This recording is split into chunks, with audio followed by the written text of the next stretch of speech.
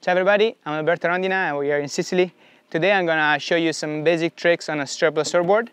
Yes, because when the waves are pumping, uh, you need to be, uh, you need to have perfect control of the board and be ready to smack the lip.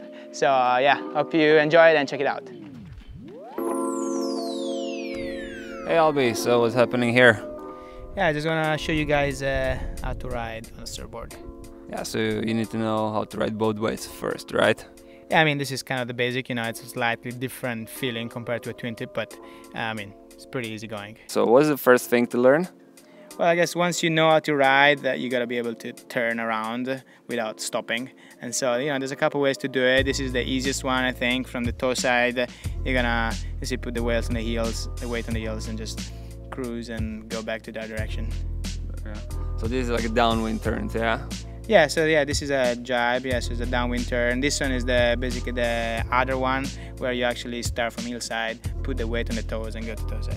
How important it is to uh, shred it hard so you have a big spray? That's super important. I mean, if you have somebody doing a picture, what it matters, it's all about the spray. So spray is gonna be big. So then why Always. do the loop? The loop it makes the spray even bigger. So no, the loop is good if you I don't know if the wind is light or you have uh, somebody upwind of you. This is a good way to get out of the way and uh, turn pretty fast. Okay, so how you switch the legs then? Yeah, the, the legs you gotta be kind of fast. You know, you gotta uh, move the back feet first, and then accordingly the front one put it back to the place where the back one was. Yeah, so keep the weight more in front. Yes, yes. Keep the kite pretty high and move the weight in front. Yeah. Right, stand up straight. Good, so now we're going to the tack area. Yeah, the tacking is a kind of I think is the fastest way to turn the board around. It's a little more technical than the jibe, of course, but uh, it's the fastest. If you want to turn around fast and you see a wave coming, you have to be ready. Just do this one. Right, you don't want to miss the wave, eh? Absolutely. That's why you have to master this one. to be eyes closed. Perfect. Okay, but I mean, that's a regular turn. Is there anything more cool I can do? Absolutely, man. For you, Kobulsky style, you can add this back roll to it, and everybody's gonna be like, "Whoa!" Yeah, absolutely. That's my style. so how you do it? Yeah, I mean, uh, you basically send the nose of the board against the wind. You have the kite at 12 o'clock really high, and then uh, with the back leg, you kind of push the tail around, and so the board actually turns straight into the other direction. Yeah, I don't want to look like a regular Jerry, that's for sure. How about this start, buddy? Yeah, absolutely. Like the worst thing you can do is like get all wet and uh, sit down in the water, lose the board. Uh, you should start in style, right? Absolutely, start in style and, and stop in style too. I mean, your hair needs to be dry, yeah. Absolutely. I mean, the worst thing you can do after a great session, you know, coming back to the beach, impressing the ladies, and you just like sink in the water. Absolutely, absolutely agree. All right, we're going to aerial area. yeah, yeah, for sure. If you have to jump over your girlfriend, I mean, you gotta kind of be able to do this if you don't want to kill her. Yeah, you don't want to do that. and to be sure you're not gonna hit her, you can just grab the board and uh, easily jump over her. Yeah, I mean the difference, uh, what I experience is that you have to tilt the board to the wind a little bit, right? Yeah. Oh, I can do that. How is it called?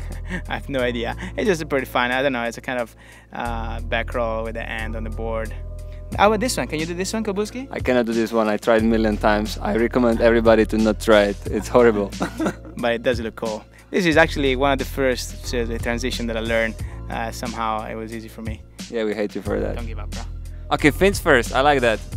Yeah, this one I have to do pretty often here in Stagnone. It's uh, when I start close to the beach and the water is shallow, I start with the fins first so I can go in super shallow water. And then I nose right too. Yeah, yeah, I really like those cookie rides. I'm gonna try it next time. Yeah, these are perfect for you, bro. Especially this one when you have a big barrel right behind you. You gotta duck, duck the knee like that and put the, your hand in the barrel to slow down. This could be something for you actually. You are the freestyle guy, come on, the blind landings. This is kind of like a pop to blind on a twin tip. Yeah, it looks uh, like even another challenge for me. How about this one? Now we're going to a real area. That's that's the shit, right? that's the shit. I want to show you through some of these, bro. Okay, so the pumping. Pumping, I mean, this is pretty good uh, to get your feeling on the fins and on the board, on the rail, to be ready to smack the lip whenever there's some waves on your spot.